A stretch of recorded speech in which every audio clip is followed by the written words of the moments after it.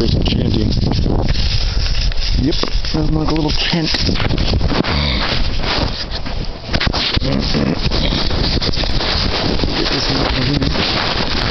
Just a second.